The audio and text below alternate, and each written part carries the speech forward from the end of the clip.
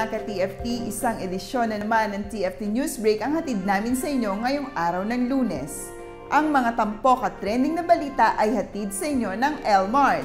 Hanap nyo ba'y masasarap na ready-to-cook food ngayong Eid? Magkakaroon ng Eid special offer hanggang 50% off ang lmart.ae ngayong linggo. Napakadali lang umorder ka TFT. Punta na sa www.lmart.ae o sa Lmart app para ma-enjoy ang masasarap na ready-to-cook meals.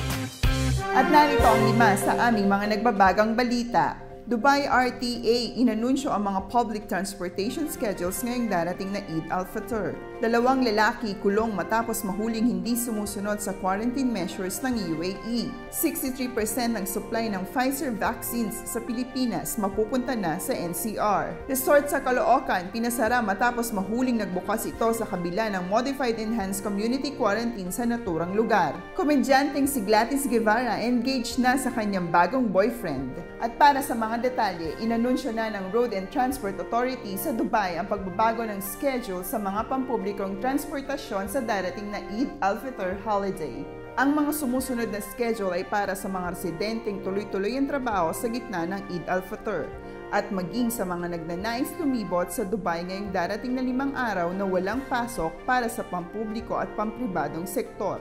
Narito ang mga schedules.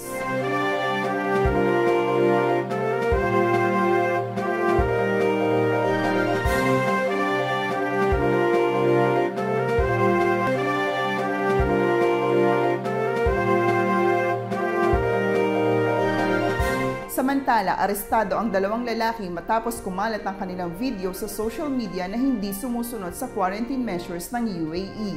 Pinakulong ng Federal Emergency Crisis and Disasters Prosecution ang dalawang nahuling walang suot na face mask habang suot pa ang quarantine tracking watches na tila pinagmamayabang pa na wala sa kanilang bahay.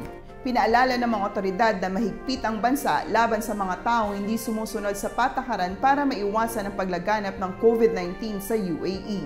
At para sa mga detalye ng iba pang trending na balita, tumutok lamang sa website at social media channels ng The Filipino Times. At yan ang mga tampok na balita para sa araw na ito. Sa ngalan ng Manila News Team at Abu Dhabi News Bureau, ako po si Jessica Suleiman mula sa Dubai Headquarters.